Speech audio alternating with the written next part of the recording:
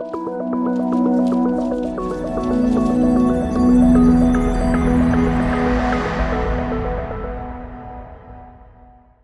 వేల పద్నాలుగులో కాంగ్రెస్ని ఎందుకు నమ్మలేకపోయారు? ఎప్పుడు ఎలక్షన్ వచ్చినా సునామీ వస్తుంది సైలెంట్ సునామీ.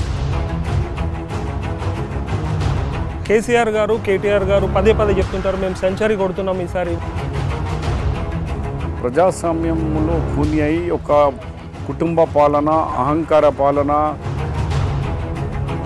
కౌలు రైతులకు కూడా కనీసం ల్యాండ్ లార్డ్కు ఇంత కౌలు రైతుకి ఇంత అంటే వాళ్ళిద్దరు ఖుషేవాళ్ళు టీడీపీ పుట్టిందే కాంగ్రెస్కి వ్యతిరేకంగా కదా? అలాంటప్పుడు అలాంటి పార్టీతో పొత్తు పెట్టుకొని మీరు ఏం సాధిస్తారు అని చెప్పేసి తీవ్రంగా అంటున్నారు. రాహుల్ గాంధీ అన్నారు నేను రాష్ట్ర ప్రభుత్వానికి ఆదేశాలు ఇస్తున్నా మేనిఫెస్టోలో ఐదు వందల కోట్ల రూపాయలు పెట్టి తెలంగాణ ఇచ్చినాం కాదా ఇంకేం పబ్- పబ్లిక్ దగ్గర పోయేది మేనిఫెస్టో కానీ ఏది కూడా పట్టించుకోలేదు. ఓవర్ కాన్ఫిడెన్స్ పోయింది.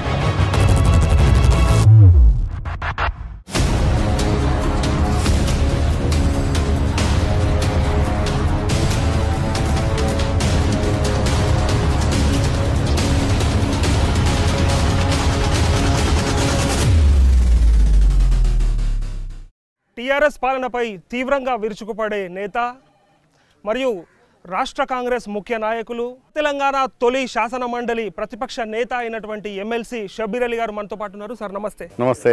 కాంగ్రెస్ వేవ్ ఎట్లా ఉంది సార్ రాష్ట్రంలో? సునామీ వచ్చినట్టు వస్తుందని మన హైదరాబాద్ గాంధీ భవన్లో డైలీ నాతోని అసెంబ్లీలో కలిసే మీడియా వాళ్ళకు నేను జనవరి నెలలో చెప్పిన ఎప్పుడు ఎలక్షన్ వచ్చినా సునామీ వస్తుంది సైలెంట్ సునామీ. తెలియకుండానే వస్తుంది. సముద్రం సైలెంట్ ఉన్నది అనుకుంటాం కానీ సునామీ వస్తుంది. అలాగే ఎలక్షన్ నేను డిక్లేర్ చేయగానే వస్తుందన్న. ఇప్పుడు మా అసెంబ్లీ అండ్ గాంధీ భవన్ చూసే సీనియర్ జర్నలిస్ట్ అందరు కూడా అంటారు అన్న నువ్వు ఎట్లా ప్రిడిక్ట్ చేసినావు? మేమైతే నవ్వుకున్నాం నువ్వు మాట్లాడినప్పుడు. ఇవాళ చూస్తూ ఉంటే నువ్వు ఎట్లా చెప్పినావు అట్లానే వచ్చింది. ఎవ్రీ డే మేము టీవీలలో చూపిస్తున్నాను అర్ధగంట సేపు. టెన్ టు ట్వెల్వ్ అసెంబ్లీ కాన్స్టిట్యున్సీలో ఎమ్మెల్యేలకు రానివ్వడం లేదు గ్రామాల్లో. కానీ ఇది బయటికి ఎందుకు రాలేదు అన్నారు. నేను అన్నాను నాకు తెలుసు ఎందుకు రాలేదంటే గవర్నమెంట్ ఉంది పోలీసు రాజ్యం నడుస్తుంది గుండా రాజ్యం నడుస్తుంది ప్రజాస్వామ్యం లేదు. ముఖ్యమంత్రి దగ్గర పోయి షికాయత్ చేద్దామంటే రెండు సంవత్సరాలు వచ్చి ముఖ్యమంత్రి సెక్రటరియట్కు రాడు ఇంట్లో గలవడు. మొన్న హోమ్ మినిస్టర్ చెప్తున్నాడు నేను హోమ్ మినిస్టర్గా రెండున్నర సంవత్సరాలు అయింది అంటే పక్కకున్న డిప్యూటీ సీఎం మహమూద్ అలీ అంటుండు అరే నర్సన్న భాయ్ నాకు మూడున్నర నెలల నుంచి నాకు కలవలేదని ఒకరికొకరు విమర్శించుకుంటున్నారు.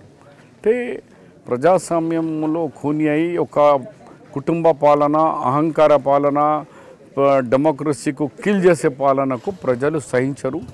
ఇది తెలంగాణ పబ్లిక్లో ఇండియన్ పబ్లిక్లో.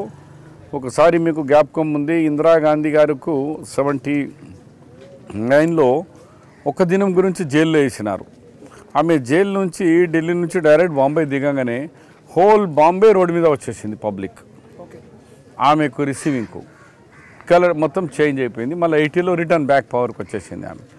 అట్లనే ప్రజల్లో ఇటు రేవంత్ రెడ్డి కానీ ఇటు జగ్గారెడ్డికి కానీ ఇటు మాకు కానీ మా టెలిఫోన్ టేపింగ్ కానీ మాకు మాకు రిక్కింగ్ కానీ మేము ఆడ పోయినా ఆడ మా ఎంబడ పోలీసు వాళ్ళు వెనక రిక్కింగ్ చేయడం కానీ మేము కూడా ఇక వదిలేసాం. ఏం చేసుకుంటో చేసుకోండి. మీరు చెప్తున్నంత వ్యతిరేకత ఉందంటారా ప్రజల్లో? అంటే టీఆర్ఎస్ ప్రవేశపెట్టినటువంటి పథకాలు కానీ లేకపోతే కొన్ని ఈ రైతు బంధు రైతు బీమా లాంటి స్కీములు కొంత ఖచ్చితంగా అన్ని ఖరాబ్ ఉన్నాయి ఎవరు చెప్పరు. కానీ ఈ రైతు బంధు ఈ స్కీమ్లో సమస్య ఎక్కడ వచ్చిందంటే రైతు మన కూలీ చేసేవానికి కానీ లేకుంటే హౌల్ రైతులకు ఏం లేదు.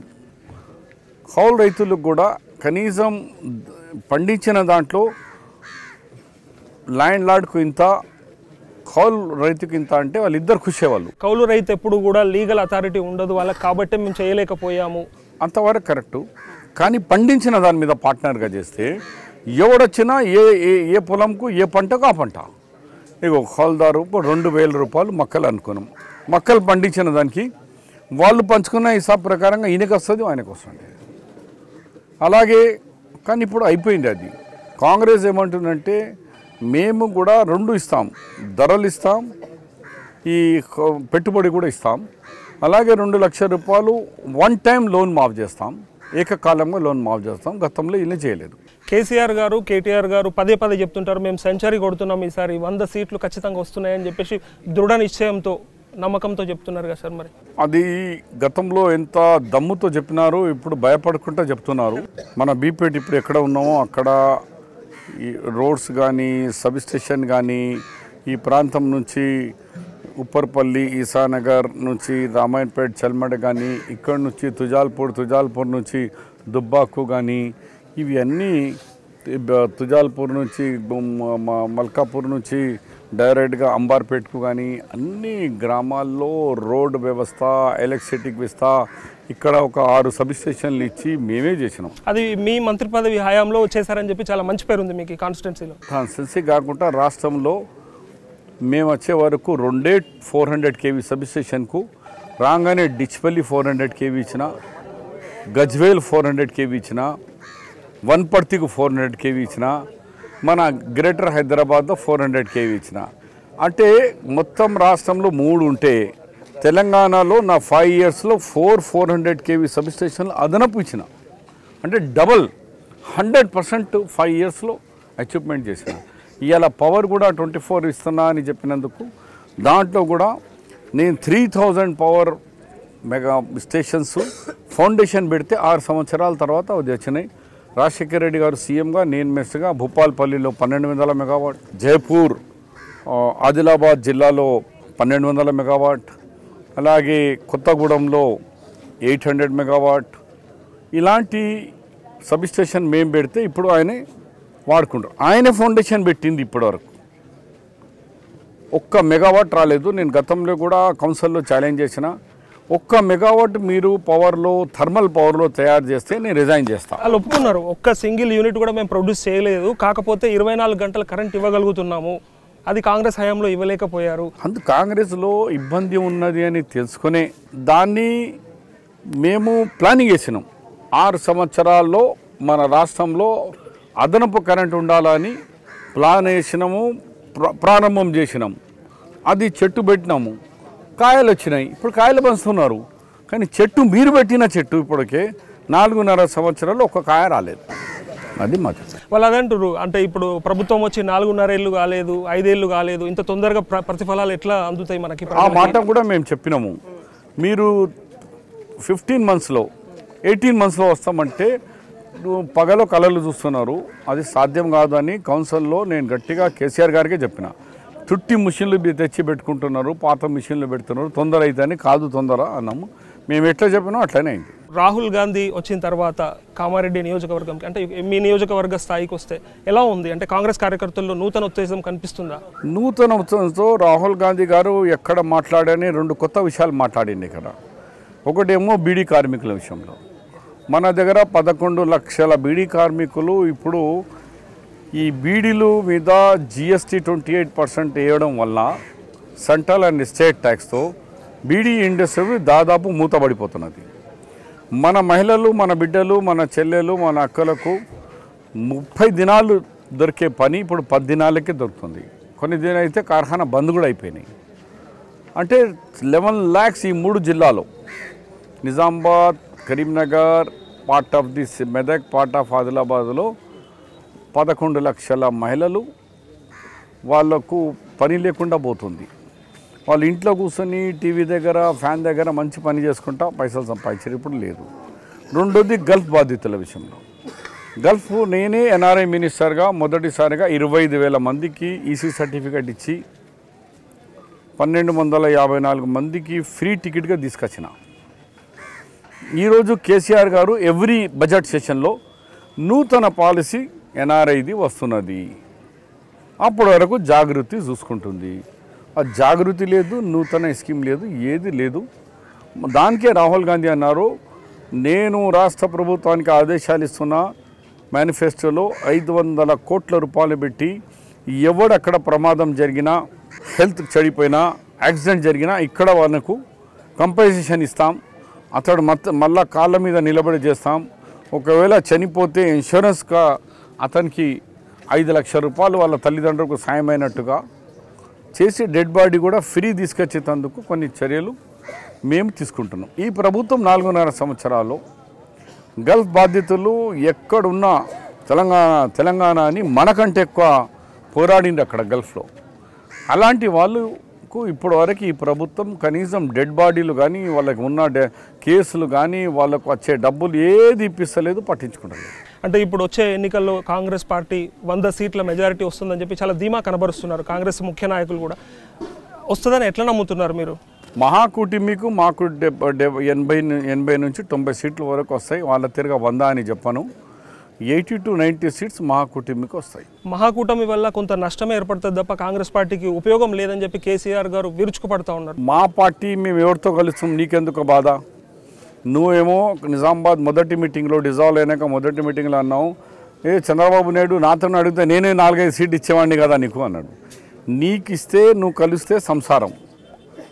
వేరే పార్టీ వాళ్ళు కలిస్తే టీడీపీ పుట్టిందే కాంగ్రెస్కి వ్యతిరేకంగా కదా. అలాంటప్పుడు అలాంటి పార్టీతో పొత్తు పెట్టుకొని మీరు ఏం సాధిస్తారు అని చెప్పేసి తీవ్రంగా అంటున్నారు. ఆయన బహిరంగ కె చంద్రబాబు నాయుడు అంటున్నాడు.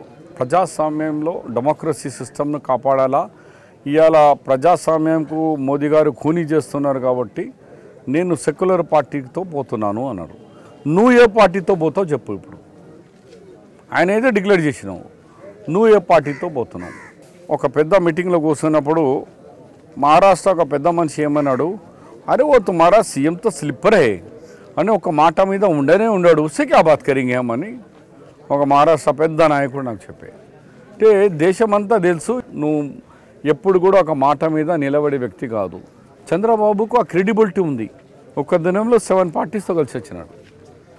నువ్వు పోతే నువ్వు థర్డ్ ఫ్రెండ్ పెట్టినావు గైబ్ అయిపోయినావు. రెండు వేల పద్నాలుగులో కాంగ్రెస్ని ఎందుకు నమ్మలేకపోయారు? తెలంగాణని ఇచ్చిన పార్టీగా కాంగ్రెస్ ఆ రోజే గెలవాల్సి ఉండే రెండు వేల పద్నాలుగులో. అప్పుడు ఎందుకు మా చూరగొనలేకపోయారు పొరపాట్లు కూడా ఉన్నాయి. నార్త్ తెలంగాణలో మేము అందరం అనుకున్నాం తెలంగాణ ఇచ్చినాం కాదా ఇంకేం పబ్- పబ్లిక్ దగ్గర పోయేది? మేనిఫెస్టో కానీ ఏది కూడా పట్టించుకోలేదు. ఓవర్ కాన్ఫిడెన్స్ పోయినాం. కేసీఆర్ ఏమో ప్లాన్తో ఒక వంద ఎనభై అబద్ధాలు చెప్పి ఒక మేనిఫెస్టో తయారు చేసుకొని ప్రజల మధ్యలో పోయిండు సక్సెస్ అయిండు అది కూడా అరవై రెండు సీట్లే పెద్ద సీట్లేం కాదు. ఈసారి కాంగ్రెస్కి ఓట్లు ఎందుకు వేయమంటారు మీరు ప్రజలకి? ఏం అప్పీల్ చేసుకుంటున్నారు? మేము నువ్వు లోన్ మాఫ్ చేయలేదు మేము రెండు లక్షల లోన్ మాఫ్ చేస్తాం. నువ్వు ఉద్యోగాలు ఇవ్వలేదు మేము ఉద్యోగాలు లక్ష ఉద్యోగాలు ఇస్తాం. అప్పటి వరకు మూడు వేల రూపాయలు కూడా భత్యం ఇస్తాం. నువ్వు ఇల్లు కట్టలేదు కాబట్టి మేము ఐదు లక్షల రూపాయలు డైరెక్ట్ బెనిఫిషరీకి ఇస్తాం. నో కాంట్రాక్టర్ మధ్యలో. దళితులు ఉంటే ఆరు ఆరు లక్షలు ఇస్తాం.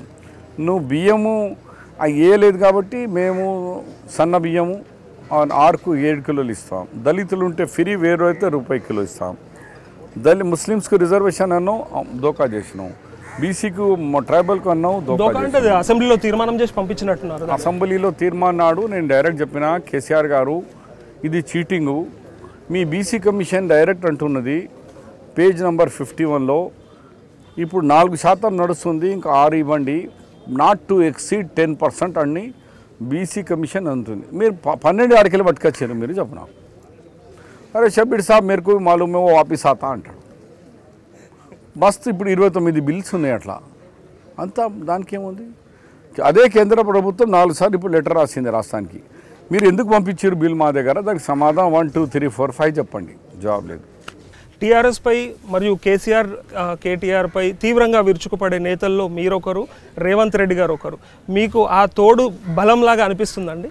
ఇరవై తొమ్మిది సంవత్సరాల కింద నేను మంత్రిగా అయినాను కాబట్టి ఇప్పటివరకు ఇప్పటివరకు నా మీద పిటికెస్ కానీ నా మీద ఎంక్వైరీ కానీ ఏం లేదు వైట్ హార్స్ స్పాట్లెస్ హార్స్ నా అందు గురించి నిర్భయంగా వాళ్ళు తప్పు చేసింది తప్పు అని కేటీఆర్ కానీ కౌన్సిల్లో కానీ బయట కానీ కేసీఆర్కి చెప్తాను మీరు డిప్యూటీ సీఎం అయ్యే అవకాశం కానీ ముఖ్యమంత్రి అయ్యే అవకాశం కానీ నేను ముఖ్యమంత్రి ఎప్పుడు ఆశించలేదు. కానీ ఉన్నట్టుంది చాలా మంది నాయకుల్లో మీరు ముఖ్యమంత్రి అయితే ఉంటారు. బాగుండన్నట్టుంది కానీ ఉమ్మడి రాష్ట్రంలో రాజశేఖర రెడ్డి సబ్ పీరియడ్లో ఐదు పోర్ట్ఫోలియోలు చేసినాను. పెద్ద పెద్దవి energy coal INPR Waqf Board Urdu academy NRI and Hyderabad in-charge Kadapa in-charge. అలాగే విజయభాస్కర్ రెడ్డి సబ్ పీరియడ్లో డాక్టర్ మర్రి చెన్నారెడ్డి పీరియడ్లో ఐదు చేసినాను. Sugar fisheries khadi ఇస్మాలిస్కల్ industry work board Urdu academy. At the time of thirty one year ఐదు పోర్ట్ఫోలియోస్ చేసిన. అంత తక్కువ వయసులో. ఇప్పుడు అరవై రెండు సంవత్సరాల్లో అప్పుడు ఆ ఉమ్మడి రాష్ట్రంలో చేసిన. ఇది తెలంగాణ చిన్నది పది జిల్లాలది అది ఇరవై మూడు జిల్లాలది. నేను జాన్కి చేసినప్పుడు కార్యకర్తల్లో నాయకుల్లో అయితే ఉంది. షబ్బీర్ అలీ గారు ఈసారి డిప్యూటీ సీఎం లేకపోతే సీఎం కావాల్సి ఉంటుందని చెప్పేసి. మీకు ఎలా అనిపిస్తుంది? అంటే మీ అంతిమ లక్ష్యం ఏంది రాజకీయంగా? సోనియా గాంధీకు ధన్యవాదాలు చెప్పాలా? తెలంగాణ మేము చెప్పినాము అమ్మ మీకు పదిహేను సీట్లు ఎమ్మెల్యే ఎంపీలు ఇస్తాం గవర్నమెంట్ తెస్తామని చెప్పినాం. అది మేము చెప్పిన వాగ్దానం పూర్తి చేయలేదు. ఈసారి కష్టపడి సోనియా గాంధీ దగ్గర పోయి అమ్మ అప్పుడు తప్పైంది ఇప్పుడు కరెక్ట్ చేసుకొచ్చినాం చూడండి అని పోయి చెప్పేందుకే మా పోరాటం తప్ప ఇంకా వేరే ఇక మీ వ్యక్తిగత విషయానికి వస్తే మీరు ఎక్కడ పుట్టారు? మీరు ఎక్కడ చదువుకున్నారు సార్? నేను పుట్టింది మాచారెడ్డిలో చదివింది కామారెడ్డిలో ఎస్ఎస్సి వరకు ఎస్ఎస్సి వరకు. మళ్ళీ ఇంటర్మీడియట్ హైదరాబాద్ మీద చేసిన ఫస్ట్ ఇయర్ హైదరాబాద్లో చేసిన సెకండ్ థర్డ్ ఇయర్ మళ్ళీ కామారెడ్డి చేసిన దాని తర్వాత మున్సిపల్ కౌన్సిలర్ మండల్ ప్రెసిడెంట్ తర్వాత ఎమ్మెల్యే మంత్రి. ఎయిటీ నైన్లో ఫస్ట్ టైం మినిస్టర్ ఎమ్మెల్యే అయిన. మీరు మొదటి నుంచి కాంగ్రెస్ పార్టీకి విధేయుడుగానే మొదటి నుంచి ఎన్ఎస్వై యూత్ కాంగ్రెస్ కాంగ్రెస్ మిమ్మల్ని టీఆర్ఎస్ వాళ్ళు ఎప్పుడు ఆహ్వానించలేదా? వాళ్ళ కేసీఆర్ గారు చాలాసార్లు నాకు చెప్పినారు. రిజర్వేషన్ అప్పుడు చెప్పినారు. తెలంగాణ తీసుకొచ్చేటప్పుడు ఇద్దరు సీక్రెట్ మీటింగ్స్ జరుగుతుండే. చాలాసార్లు నేను గులాం నబీ ఆజాద్ అహ్మద్ పటేల్ వాళ్ళతో తీసుకుపోయి మాట్లాడేటప్పుడు కానీ చెప్తుండే నీకు భవిష్యత్ బాగుంది నువ్వు వస్తే కదా అని. నేను రాను. ఏ పార్టీ తెలంగాణ ఇచ్చిందో ఆ పార్టీకి నువ్వు మోసం చేస్తున్నావు నేను మోసం చేయను సార్ మీ నియోజకవర్గం విషయంకి వస్తే అంటే మరి లాస్ట్ టైం మీరు ఎలక్షన్స్కి వెళ్ళినప్పుడు ఏదైతే ప్రభావం ఏర్పడ్డదో ఈసారి మరి ఏ హామీలతో వెళ్తున్నారు మీ కామారెడ్డి కాన్స్టిట్యున్సీ విషయంలో? ఎగ్జాంపుల్ ఇవాళ బీపేట్లో ఆరు సంఘాలలో డబ్బులు ఇచ్చారు నాకు. ఫస్ట్ ఏమో గంగపుత్ర సంఘం మిత్రులు వచ్చి నా నామినేషన్ డబ్బులు ఇచ్చినారు. తర్వాత కుమ్మరి సంఘం శాలివాన వాళ్ళు నాకు ఇచ్చినారు. తర్వాత మాదిగ సంఘం ఇచ్చినప్పుడు మాలా సంఘం అండ్ మూనూరు కాపు సంఘం. ఇప్పటికే ఆరు సంఘాల వాళ్ళు డబ్బులంతా జేబులోనే ఉన్నాయి. అందరు తెచ్చుకుంటూ ఇస్తున్నారు పైసలు. సరే మీ ప్రత్య ప్రత్యర్థి విషయంకి వస్తే తను కూడా అదే చెప్తుంటాడు. కామారెడ్డి నేను తప్ప ఎవరు డెవలప్ చేయలేదు. ఇంతకుముందు ఎవరు కూడా చేయలేదు. నా హయాంలోనే డెవలప్మెంట్ జరిగిందని చెప్పి చెప్తుంటారు. మరి మీ ఆ విషయంలో మీరు ఏమంటారు సార్? నేను మొదటిసారి వచ్చిన చక్కెర ఫ్యాక్టరీ తెచ్చిన. దుమ్కొండలో one thirty two KV substation తెస్తే ఈ ఏరియా అంతా మెరిగింది.